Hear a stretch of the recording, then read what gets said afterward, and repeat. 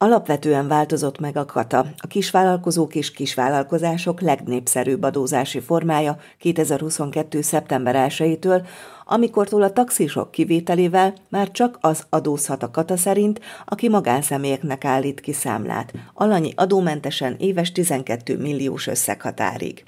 Továbbá a másodállásban vállalkozók is kikerülnek a kata hatája alól. Fontosak a részletek, ezért akár még most sem késő felkeresni egy könyvelőt. Minden esetben szerintem úgy gondolom, hogy szükséges a könyvelő segítsége, mert ezek igen összetett kérdések, tehát nem lehet egyértelműen válaszolni arra, hogy ilyen vagy olyan adózást válaszol. Nagyon fontos megvizsgálni azt, hogy ő milyen tevékenységet végez, mennyi árbevétele várható, tehát fontos ezt elemezni, és még egyszer mondom, fontos, hogy szükséges a könyvelőnek a, a szaktudását igénybe venni.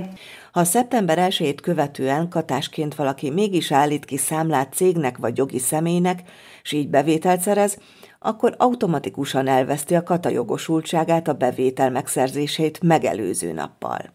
Aki nem nyilatkozott, úgy átkerül a vállalkozói személyi jövedelemadó szerinti adózásba.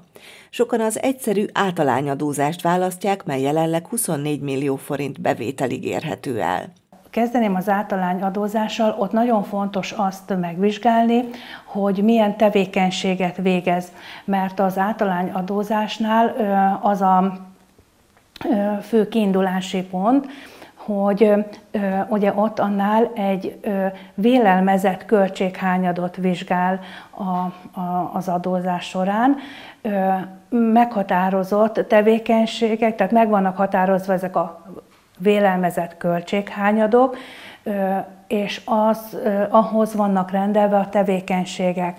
Ugye 40, 80 és 90 százalékos költséghányad van, meghatározva a jogszabályba. Általányadózásnál többnyire, akik szellemi tevékenységet végeznek, ők tartoznak a 40%-os költséghányadba.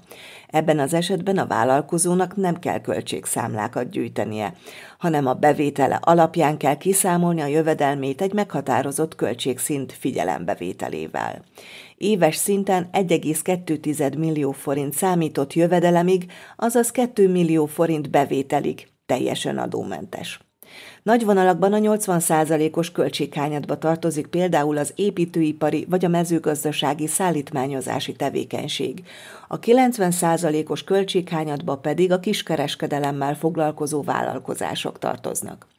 Továbbá normál szabályok szerinti adózó egyéni vállalkozóvá válást is lehetett lehet választani, amely általánosságban azok számára jobb alternatíva, akiknek magasak a költségeik, hiszen itt el tudják számolni őket, amely által alacsony adófizetési kötelezettségük keletkezik.